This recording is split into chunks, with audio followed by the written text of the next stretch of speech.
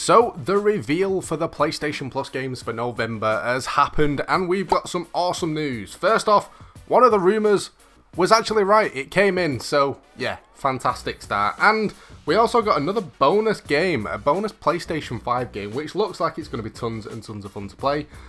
So yeah, let's check out what we're getting. Now first off, the rumour that came true is for a game called Middle-earth Shadow of War. Now this is what we actually mentioned yesterday. It's based off Lord of the Rings. It looks like quite a fun, cool game to play. For me, I've never actually watched the Lord of the Rings movies though. I was always a Harry Potter fan instead. So it's going to be one of them, even though it looks fun to play, I'm not sure I'm going to understand the full story from it. And it might end up being a case of I need to watch some YouTube catch-up stuff to get up to date with the story to actually enjoy the game to its full.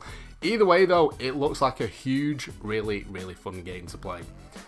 The second one, a game called Hollow Knight Void Heart. Now, Hollow Knight is pretty much a 2D exploration platformer. It's not going to be for everybody, but it still looks pretty fun to play. A lot of people hate the indie style games, a lot of people only want to play the massive AAA titles, but to be honest with you, some of the best games that I've actually played in the past have always been like the stuff that you'd never expected.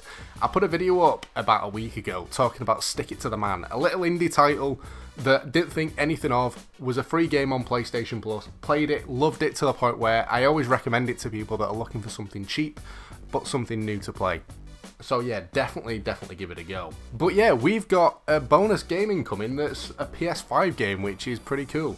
And it's a game called Bugsnax. Now, even though I've heard of this, I don't actually think I've seen anything of it. So making the video, kind of checking out the trailers, my first time looking at it, as well as you guys, pretty much.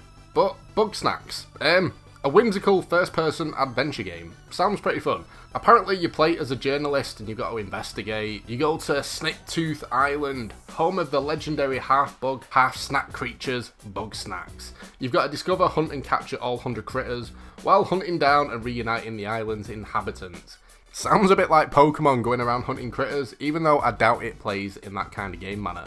Now this is actually available from Thursday the 12th of November, so yeah, make sure you check it out. It's going to be free on PlayStation Plus for two months, so to make sure you don't miss out on it, make sure you at least add it to your library. If you're not getting a PS5 straight away, add it to your library when you get the console. If it's not now, if it's in the future, at least you're going to have your games kind of stacked up there.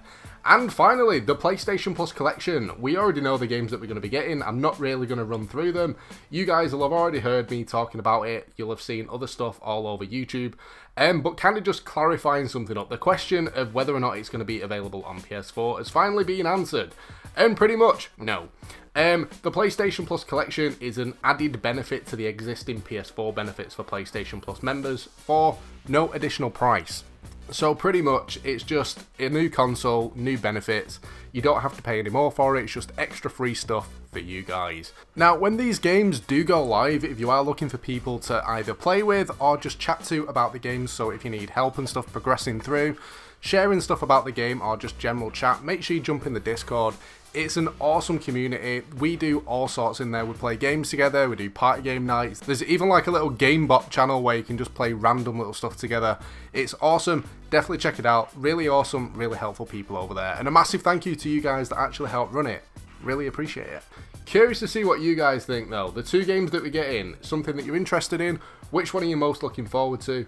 And the bonus title, Bugsnax, is it something that you're going to be checking out? Leave a comment down below and let me know your thoughts. But that's pretty much it for this one. I hope you've enjoyed the video.